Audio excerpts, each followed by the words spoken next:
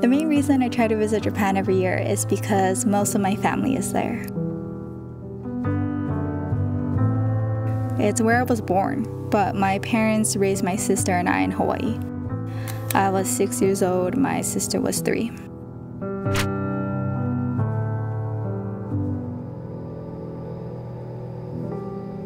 We were suddenly far removed from the only place I knew to a foreign world where my new classmates only spoke English.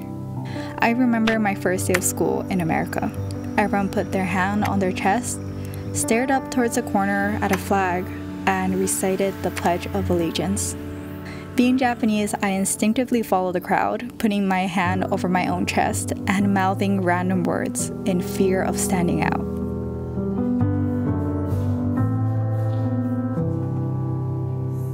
This year, Jack and I went back for three weeks.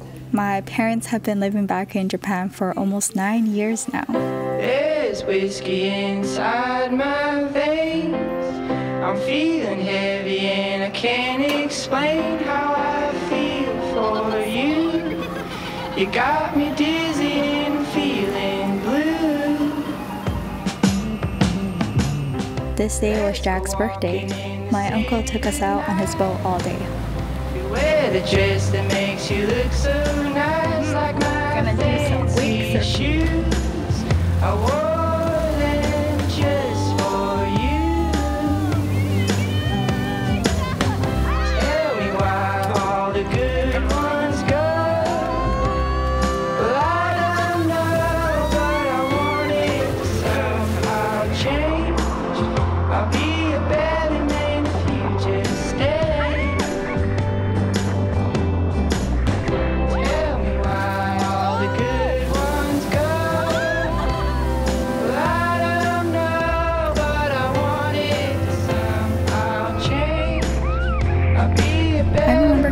to Japan after being in Hawaii for the first two years. I was now in third grade. We had this big party, and all my parents' friends came over. They all hugged me, saying, Look how big you got. Do you remember me? I don't have that many family friends in Hawaii, people that knew me since I was in diapers. Even as a child, I felt horrible. These strangers seemed to know everything about me and flooded me with love, but I just didn't recognize them one bit. That night, I studied each of their faces, repeating their names over and over in my head. I didn't want to forget them again, and I never did after that. My parents, excited to have everyone back, decided to surprise Jack for his birthday and splurge on this place for all of us to stay. It was nice.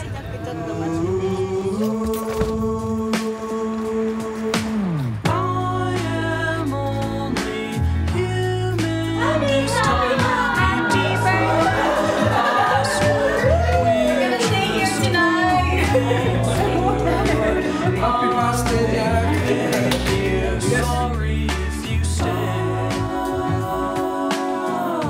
actually used to live right across the bridge in an apartment in front of the ocean.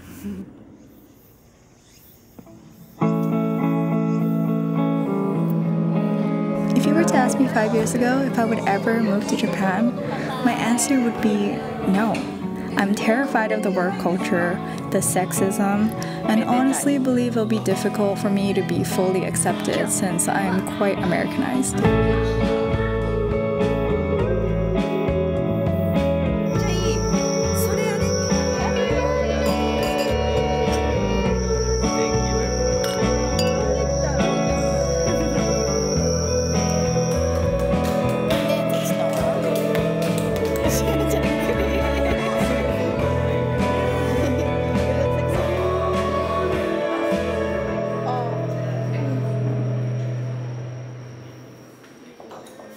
Something in my heart changed recently.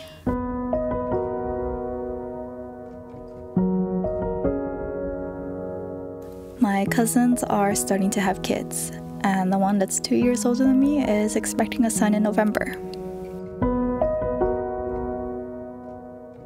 I'm brought back to the time we would visit. Every two years, sometimes three years, we'd sit at the dinner table, my parents catching up with my grandparents as my sister and I sit across my cousin in silence.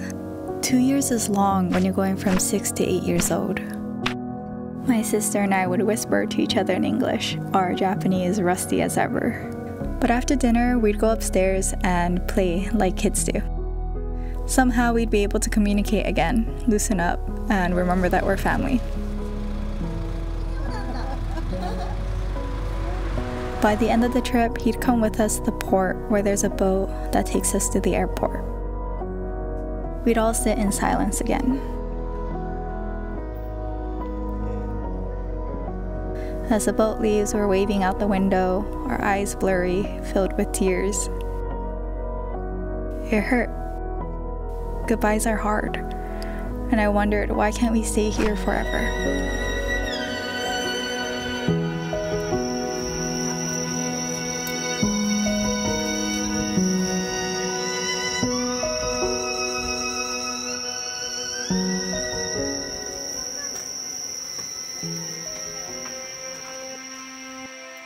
Jack and I took a little break off of trying for kids this year.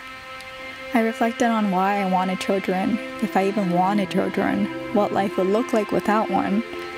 Probably career focused, traveling, making money just to spend it, and we could die happy knowing that nobody is financially dependent on us. Sounded really intriguing, honestly. And I also imagined our life with kids our brain chemistry actually changing as we become parents, seeing the world for the first time again through our kids' eyes, growing myself as a mother, and watching Jack fall into the role of a father. That's a human experience I want to have in this lifetime.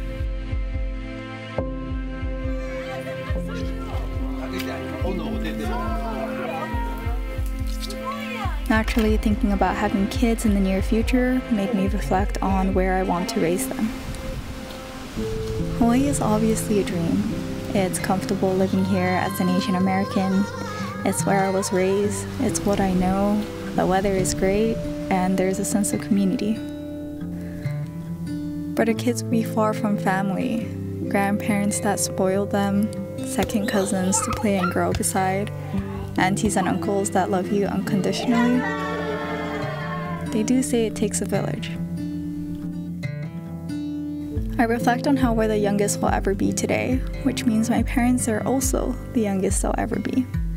I want more time with them, and I want to gift them the experience of being grandparents for a little longer.